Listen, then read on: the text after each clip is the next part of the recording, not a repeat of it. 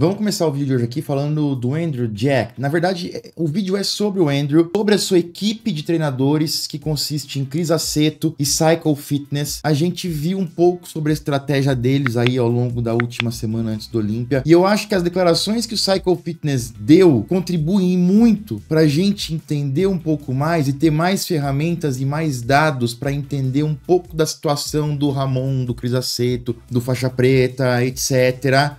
Vou falar também no próximo vídeo sobre o feedback que o Tyler Mannion deu sobre o Olympia. Ele explicou as poses e aconteceu uma coisa muito séria, muito, muito, muito séria, envolvendo Rad Chopin e Pro League, que pode impactar eu, cara, eu tô muito preocupado com isso, mas eu explico pra vocês no próximo vídeo. Para colocar um pouco de contexto, vocês lembram que a gente fez vídeo aqui, eu trouxe isso também. Esse aí é o Cycle Fitness, ele fala num dos vídeos no canal do Andrew Jack, ele é o treinador de academia do Andrew, o cara que puxa os treinos, tá? E ele falou o seguinte: a gente não vai abrir mão de um braço grande para trazer um físico extremamente cortado e condicionado. Isso saiu da boca do, do Cycle Fitness. A gente não vai abrir mão de uma perna grande para ter um glúteo fibrado, etc, etc. Eu falei, gente, isso aí se acontecer é o pior erro do mundo. Fiz vídeo sobre isso. Andrew Jack vai cometer um grande erro. E realmente deu no que deu. A gente sabia, porque era muito claro e muito óbvio, porque o Tyler Mannion tinha dado já esse feedback no Texas. Ele falou: o Andrew tá no seu melhor, só que ele precisa chegar ainda mais seco. E aí me causava estranheza o Cycle Fitness falar aquilo. Eu falei, gente, os caras estão ficando louco. E aí teve gente que falou assim para mim em comentários, foi bem interessante trazer isso aqui também. Falou o seguinte, cara, mas o, o Cycle ele é só o treinador de academia. Quem vai tomar esse tipo de decisão é o Cris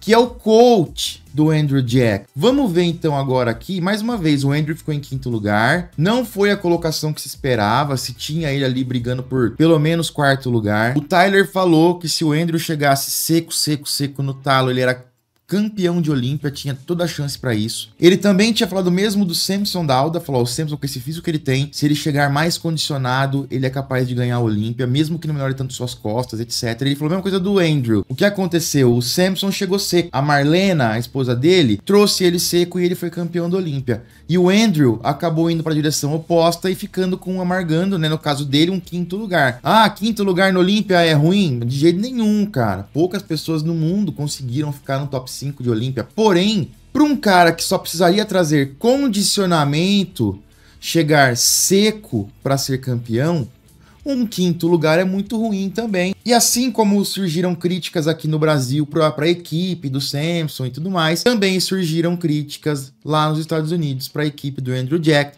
e também lá a gente percebe que o Cris Aceto não se pronunciou e quem foi se pronunciar foi o treinador, foi o Cycle Fitness. Então a gente começa a ver aqui uma similaridade de algumas coisas, mas nem tudo vai ser similar. E eu quero falar agora aqui da Insider, que tá com uma grande novidade. A Insider já saiu na frente de todo mundo, já saiu na tecnologia das camisetas. Para você que quer uma roupa tecnológica, uma camiseta que você pode usar o dia inteiro e não vai ficar fedido, vai evaporar rápido suor, tecnologia anti-odor. Essa praticidade é muito grande no nosso dia a dia. E a Insider sai na frente mais uma vez, porque na Insider a Black November já começou. É isso mesmo, a promoção de Black Friday da Insider já está começando. Usa o meu cupom, cupom SHINE15. Os produtos Insider, a Tech T-shirt, a regata, a calça Future Form a cueca performance já vão estar com preço remarcado no site, que é um desconto para Black Friday. E se você usar o meu cupom, cupom SHAIN15, vai ganhar 15% a mais de desconto, podendo chegar em algumas peças em até 40% de desconto. Essa aqui é a melhor oportunidade do ano para você comprar Insider, para você conhecer ou para você até mesmo aumentar aí o seu guarda-roupa. Corre lá agora então, insiderstore.com.br, o link está na descrição, está no comentário fixado. Valeu!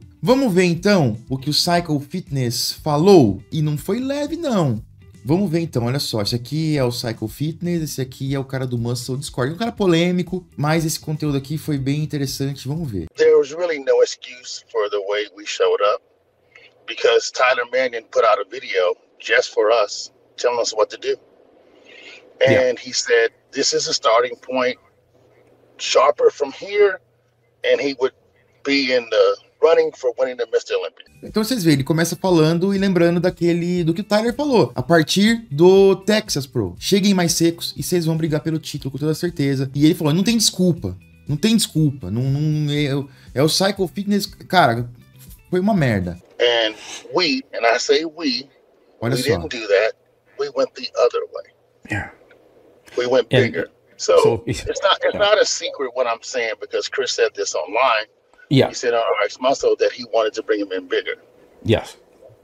And I was not on board with that at all. Então você vê, ele fala que o Aceto queria trazer o cara maior, ele vai explicar mais sobre isso ainda. Pô, o, o, o Tyler deu, deu um feedback e ele está falando que o Chris Aceto queria trazer o Andrew maior e que o Cycle Fitness não estava de acordo. E outra coisa importante, ele fala: a culpa é nossa, nós e nós temos responsabilidade. E ele, apesar de discordar do Aceto, ele ainda se inclui na culpa. Ele vai explicar isso também, tá? Daqui a pouco. Já foge um pouco da similaridade com o caso do Brasil. E aí a gente entende, porque voltando lá no vídeo que saiu no canal do Andrew, o Cycle Fitness saiu da boca dele. Nós queremos trazer o Andrew mais seco, nós não vamos abrir mão disso, blá blá blá blá blá. Então dá para entender, talvez, que naquele momento ele tava jogando com o time, e ele fala isso mais pra frente, que eles são um time, então ele acabou jogando com o time. Mas aquilo lá era orientação do Cris Aceto e ele não concordar. Apesar de não concordar, ele tava falando porque era o time e ele talvez ali é o elo mais fraco, né? And the simple reason, he told us, Tyler Manning told us exactly what he wanted. He didn't say bigger, he said tighter. O Tyler não falou maior, falou mais seco. Yeah. And that's where the friction began. E aí ele fala que começou o atrito entre ele e o Chris Aceto. Então revelando aqui que realmente... Aqui ele revela e deixa muito claro, e eu acho que é muito legal essa honestidade, de o time está rachado, o time rachou ali, a gente teve um atrito, a gente teve brigas, a gente teve discussões, que ele vai explicar um pouco mais ali, e ele tá sendo franco aqui. Okay. And that's just being honest. Pra mim é a melhor opção. It's not Andrew's fault at all. He didn't cheat on his diet. He didn't miss any workouts. He didn't do anything he wasn't supposed to.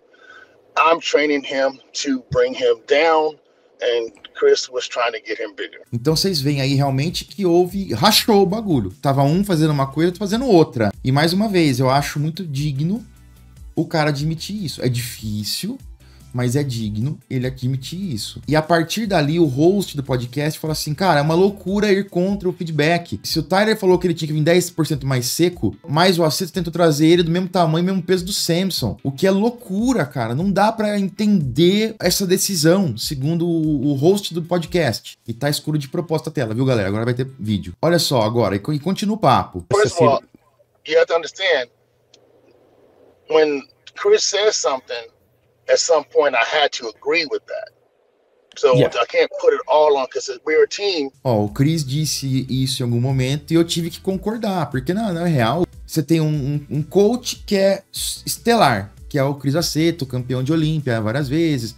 Você tem um cara, um atleta que é estelar, que é o Andrew Jack, super popular. Qual que é o ponto mais fraco da equação? O Cycle Fitness. Falou, eu tive que concordar. E teve muita conversa, muita coisa que eu não vou abrir aqui, não vou jogar, porque somos um time. Então, assim, deve ter tido muita coisa discutida, muita discussão e muita briga. I can't jump, get hop in a life raft and just escape from it. As a yeah. team, we failed. We failed, Andrew. Nós olhamos como um time. Uh, both, not just both. So, it was, well, but you know what, but, but... Aqui é outra pausa, porque é o seguinte, a partir daqui o host começa a falar, e ele fala ali uns dois, três minutos, e ficaria pra frente fazer a legenda, demoraria um tempão, e eu vou resumir o que ele falou para vocês. Ele fala assim, cara, foi óbvio, todo mundo viu o Andrew na academia treinando com você todos os dias, fazendo tudo que ele podia. É óbvio que a culpa não é sua, Cycle Fitness. E o Cycle Fitness menciona, falou assim, cara, eu falei com o meu irmão, sobre me pronunciar, dizendo que a culpa foi dos dois. E o meu irmão argumentou dizendo que não, cara, a culpa foi só do aceto. E aí o Cycle Fitness explica o ponto de vista dele, por que que ele tá dizendo que a culpa foi dos dois, que eu achei interessantíssimo aqui e que é mais um paralelo com a situação do Brasil, tá? Que pode ajudar e aqui, rapaziada, eu não tô aqui para apontar o erro de ninguém. Eu acho que agora também já não adianta mais o que aconteceu, quem errou, quem não errou. A gente precisa entender a situação. Então a gente tem um caso muito semelhante aconteceu, que aconteceu aqui com os americanos ali, com Andrew, Psycho Fitness e, e Chris Aceto. Uma situação muito similar, onde houve um racha, mas dessa aqui um racha declarado. Tá lá o, o, o Psycho Fitness batendo no peito e falando, eu discordei do cara, a culpa foi minha também, mas eu discordei do cara. E a gente discutiu muito e teve atrito, porque a gente não compartilhava da mesma opinião. Eu, eu, só quero, eu só quero trazer isso, e mais uma vez, com o maior respeito a todos os personagens envolvidos, inclusive do Brasil, etc. Mas o público, ele tem essa vontade de saber, eu tenho a obrigação de trazer a informação para vocês também. Muitas vezes a informação que eu não gostaria de trazer, muitas vezes a informação difícil, muitas vezes a informação desconfortável, mas é, é o que é. Vamos continuar e vamos explicar, vamos ver por que, que o Cycle Fitness também se considera culpado. Let's say you and I driving, right? Yeah. And I say, hey, hey, hey, Matt, that's a that's a cliff. and We're gonna drive over the cliff.